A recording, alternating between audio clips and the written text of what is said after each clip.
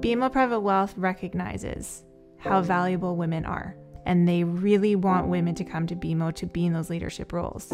And so it's an amazing bank for that. If you're a female looking for opportunity in leadership roles, BMO is the place to be.